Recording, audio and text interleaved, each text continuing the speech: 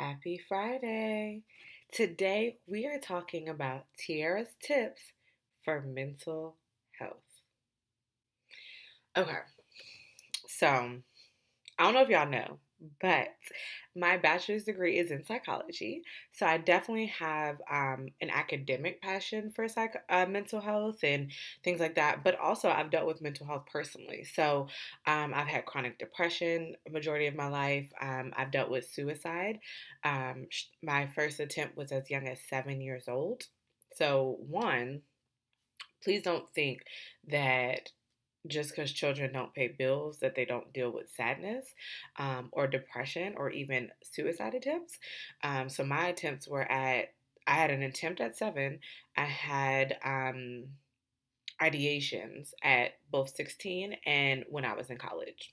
So suicide is a real thing including for children um, so it's not age dependent it's not that adults are the only one who are allowed to be depressed or anything like that. Children are hurting children are hurting. Um, so, I wanted to take a few moments to discuss my tips for mental health from um, one, from an academic standpoint, like what I've learned, right? But then also from the standpoint of um, my experiences. So, here we go. Tip number one is recognizing that we all have mental health. We may not we may not all have mental health problems, right? But we all have mental health. Just like we all have physical health, we have to recognize that we all have mental health. And you may not have a clinically recognized disorder, but you still go through things. Um, an example of that, right? So, comparing it to physical health, you may not have cancer, right? But if you go into a if you get into a car accident, and you have suffered physical damage, you would go to the doctor, right? But when we have car accidents mentally, so that may look like the loss of a child, that may look like um, the loss of a job, the loss of a relationship, that may look like um, financial struggles, like whatever that car accident is in your mental health, we have to address it with the same intentionality that we would if you started bleeding randomly and had no idea why, you would seek help. Why is it that we don't do the same when we start crying uncontrollably and have no idea why? Yeah. So we all have mental health. Every single person has mental health. It's our job to know where we are in our mental health journey in that given moment because it can change. It can ebb and flow so easily. Right? And so when you're thinking about your mental health, I want you to think about developing a routine. What is your mental health routine and what does that look like for you? Now, I can't tell you what your routine will look like, right? But I can strongly encourage you to have a routine, have processes and systems in place to spend time focused on your mental well being. I'll give you some examples. So, part of my mental health routine includes being in therapy every week.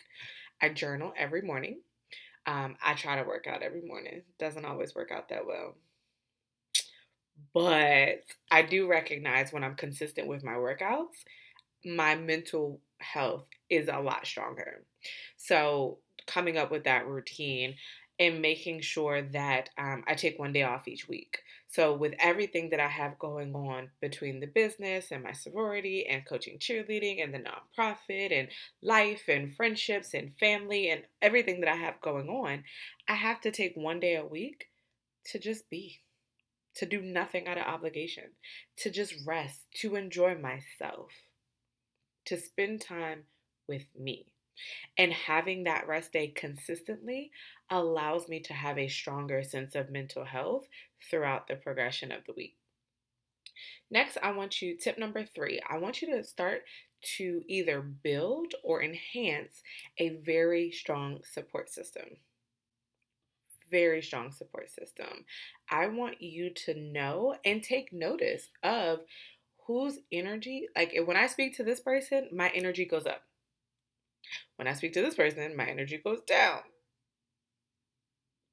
And what I did, I went through my phone and I said, I in their contact name added a plus or minus sign. And it's not about I can't talk to you if you drain my energy, right? It's about in that moment when you call or text, it reminds me to take evaluation of my energy. Can my energy handle a conversation with someone who drains me? In this moment, right? In this moment? Can my energy handle the weight of this conversation? Or the reverse of that. I'm having a bad a bad moment. Let me reach out to someone who historically helps me feel better. Right? Just take inventory. Just take inventory. And it uh, allow that information to um, help you develop your support system. Again, I'm not saying that it has to be a sense of like, if you drain my energy, we can't speak. No, that's not the case. But if you drain my energy and I'm already having a bad day, maybe today isn't the best day to talk. Or if I'm having a bad day, let me reach out to someone who has a habit of showing up for me, has a habit of benefiting my mental well being. Step number four listen to your soul. I literally had this moment this week. Literally. I historically take my day of rest on Sundays. Um, and this Sunday, I literally did nothing. I'm sorry. I went to lunch with a friend. But y'all know how I love food. Y'all know I love food. So that wasn't work. Okay. It was not work. Um, but I did, I just laid in bed. I slept in, woke up, ate, took a nap, went to lunch, came back, lay back down, watched TV, etc. Like I did absolutely whatever I felt like doing. But then Monday when I woke up, I was like, I'm still feeling drained. I'm still feeling drained. So I made the decision to take a day, right? Um, and I don't have PTO. So for those of y'all who take PTO, use it. Personal time off. That includes mental health days. Use it. There are so many people who don't even the end of the year comes and they have to like rush to use their PTO because it's use it or lose it. Use your PTO. If you feel like today's just not my day, take a day for yourself you're allowed to do that. Personal time off means you are allowed to take that time off for your personal needs. That should include your mental health. Absolutely should. And then step number, tip number five seek help. Seek help.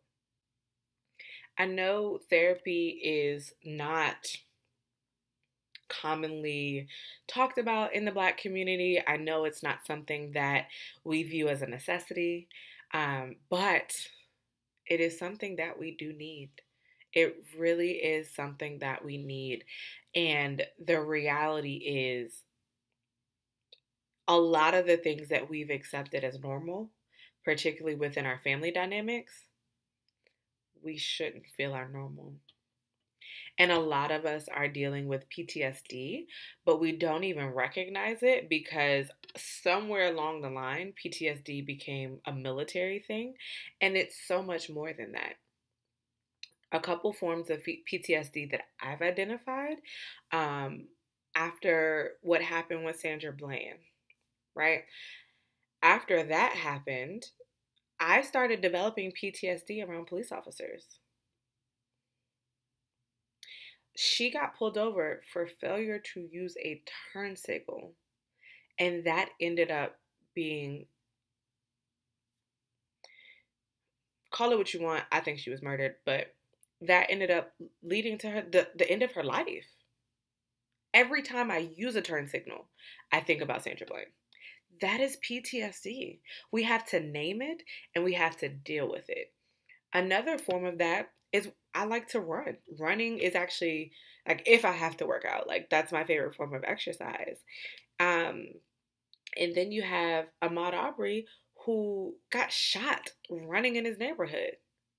Like that's a form of PTSD. When I'm running in my neighborhood, I'm like, all right, let me make sure I stay on the sidewalk. But if I see somebody with a dog, let me get out their way because just in case they happen to release the dog and then they say, oop, it slipped out of my hand. Or if I run out of sidewalk and I'm like, okay, let me run on the opposite direction of the street. So if I get hit by a car, at least they know I saw their car and it can't just run over me and then go on about their day and get away with it because I'm a black person in America. Like these thoughts are going through my head as I'm working out, which should be a release, right? So, really understanding that even if you feel like you have not been through anything traumatic, just because you're a black person in America, we are dealing with a consistent level of PTSD. We just are.